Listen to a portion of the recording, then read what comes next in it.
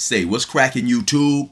It's your boy 16 Da Life, and I'm back like I'm on a pro violation. Yard down.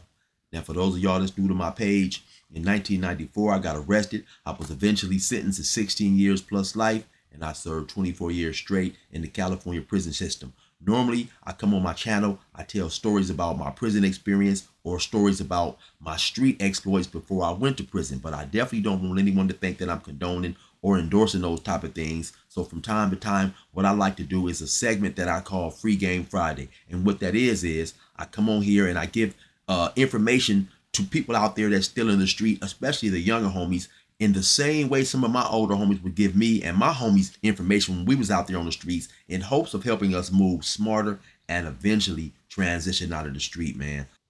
So let's hop right up into this video, man. Now, this video right here today, it seems like this would be a video that I wouldn't even have to make. It seems like, you know, a video like this would, would be common sense. You know, it seems like, you know, uh, it would be a waste of time making a video like this because for people out there in the streets, you should not have to be told this. But sadly enough, time and time again, as we watch shows like Hood Politics, War in Cali, and things like that, Barrio Tales, we see that dudes do not shut they mouth, man. Uh, one of the first things that I was taught, man, when I jumped into the streets is say nothing to police. I mean, to be honest, I think a lot of us from certain cultures are taught never talk to the police way before we even hop into the streets, before we even decide if we're going to get into the streets or not. Because honestly, just to keep it real, um, a lot of minorities do not trust the police.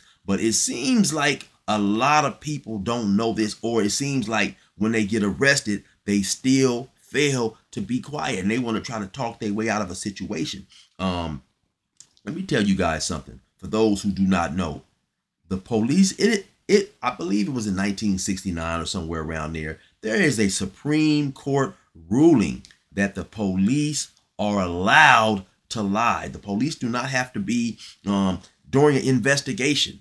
The police do not have to be honest with you. They can lie. They can say all types of things. And for those who don't believe me, let me just show you this video clip of a lawyer.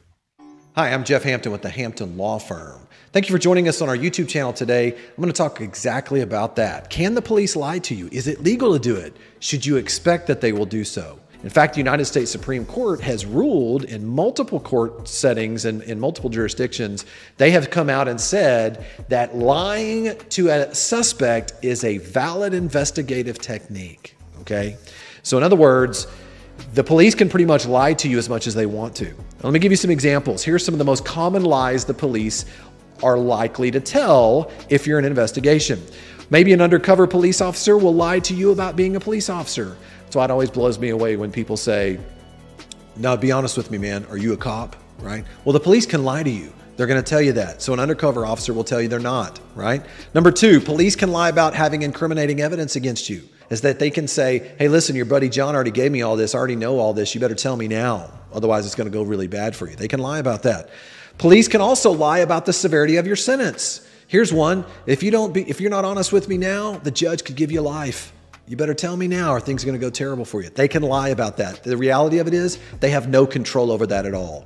So now you've heard from the lawyer's mouth that the police are allowed to lie. So in any situation, especially man, if you're guilty, you have to shut the hell up. You know, some people think that if they happen to commit a crime and then maybe a week later the police show up at their door, they show up by luck.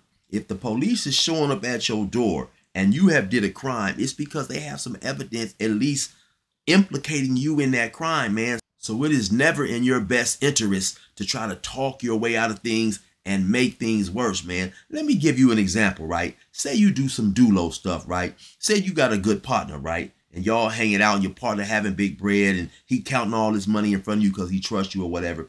And one day you know, you just cannot resist the temptation to go to his house and steal some stuff, steal some money or whatever, while you know he's at the gym or away from the house or whatever, right? Now, let's say when you go to make this move, you know that his neighbor has cameras, so you dress to conceal your identity, right? And so the neighbor catches you on the camera, she shows the camera to your buddy, and your buddy say, damn, man, that look like the homie right there. So for whatever reason, you know, the eventually the police wind up coming to talk to you, right?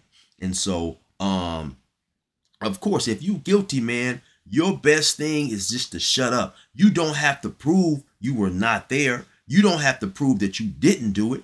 The police have to prove that you did do it. The police may lie to you, right? They'll say, okay, the neighbor saw you. Uh, we got the neighbor seeing you. That's why we're here. The neighbor saw you. She clearly saw your face. And also, we found your fingerprints in the house. Now, they just might be lying to you all out. Maybe they didn't even dust for fingerprints, right? But now, suddenly, when they tell you this, on the inside, you begin to panic. And so now you make an excuse. You say, well, yeah, you know what? I did come over there because I, I come over there all the time. I came to visit my homie. And when I got there, it was something outside. He dropped his wallet. It was a package left. Whatever quick lie you come up with, right? So now unknowingly, what you have done is you have placed yourself at the scene of the crime that day. When actually, if you had just kept quiet, later on, that could have been something that your lawyer could have easily explained away, right? Now, let's say they did find your fingerprints in the house. But of course, this is your homie, man. This is your buddy. So you're over there all the time. You're over there all the time playing dominoes, drinking, whatever you're in there doing. So your fingerprints are going to be in the house. So if you had just kept quiet, which is, of course, you're right, then later on, if they did happen to charge you, anything that they had against you in the way of evidence would have been presented to your lawyer and then you could have explained that situation away right? Um another thing that dumb people do right when they get locked up people in the street that should know better right? You get arrested on a case. They'll put you in a cell right? It'll be a bug cell and sometimes it may even be a gang member in there who's working with the police or a police who is extremely familiar with gang activities and he is pretending to be a gangster or whatever. And it kills me how dudes will sit up there and discuss their whole case in a jail cell. This is a jail cell, man. You don't think that they can put listening devices in the jail cell? Uh, I never forget, like I told before, man, when I got locked up in Riverside County and I would go to court, you would have a lot of white dudes in there discussing who was selling who was selling uh, uh speedware and you know they'd give his exact locations and how much speed this dude was was selling. And i used to think all the time man if this sale is bugged those dudes are going to jail right? Then it's another crazy thing that people do. People will get on the jailhouse phone and call home. Oh yeah yeah you know uh, you know i got that thing you know that gun?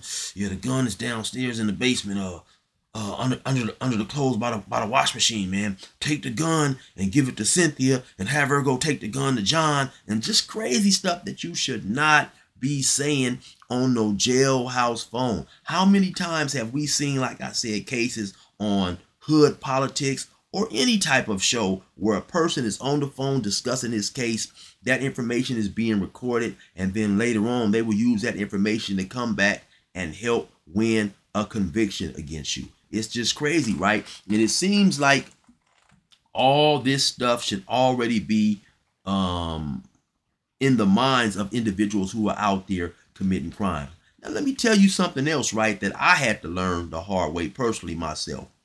Sometimes, right, when we go to jail, especially if you happen to go to jail for a gang related crime, but not necessarily you don't have to, but a lot of times we think that when we go to jail, everybody that's locked up is with the business. Everybody is going to stick to the code of the streets. And so we think that it is okay to discuss our cases, right? Of course, we're a little nervous in there. We have anxiety. Now, I have been charged with an attempted murder. Actually, I have been charged with three attempted murders. They was also talking about filing another murder because it was alleged that I had killed a witness who was a witness in my attempted murder case, right? So now there was a Crip up in there, and I've always refrained from saying his name. I just refer to him as S. There was a Crip up in there who happened to be from a Crip gang, right? From Los Angeles. He was about 35. He had been to the pen a couple of times. By this being my first time in any type of serious trouble, you know, I'm looking to this dude just for his opinion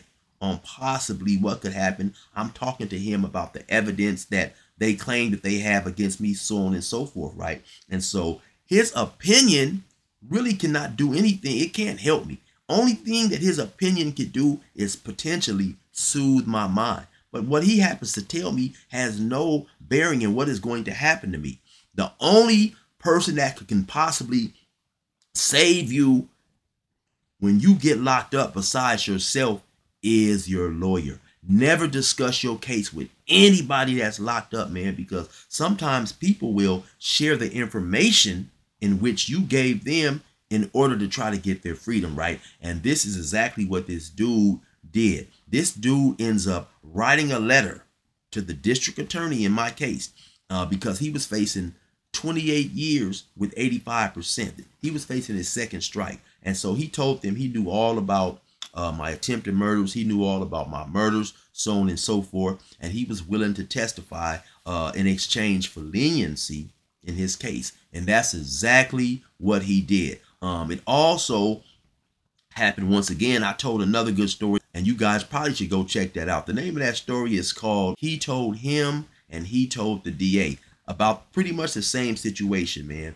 A dude is walking, talking with this dude in the county jail. The dude he is talking to is pretty much a lawyer. He's a he's a inmate lawyer who was locked up in prison in Montana for about 10 years. He ended up having his charges reversed. He had studied the law. He was extremely knowledgeable about the law. And so this dude who is talking to him has been locked up for a murder. And so he's um telling this dude all about his case, right? This dude ends up contacting the district attorney and ended up testifying against him to get his charges dropped, right? So, like I said, it seemed like being in the street and not talking to the police when you're arrested should go hand in hand. But of course, it's extremely surprising how many times it happens where when people get locked up, they want to try to remove themselves from the charges. They think they're slick and they think that they can come up with these off the head stories to tell the police, which in reality really make no sense. And only thing you're actually doing is digging yourself a bigger hole because now when you tell the police a story or a situation, oh yeah, you know, I was over there at Chills. Now you have locked yourself in. Not only have you locked yourself in to a certain to a certain story, you've also implicated Chill now.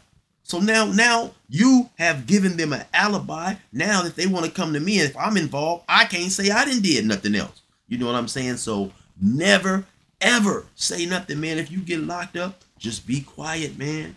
And potentially things will be better for you down the line. Anyway, you already know who it is. It's your boy 16 Da Life. Resume normal program. I ain't never told y'all when I ain't never testify. Thugged it on the main line. I never went to SNY.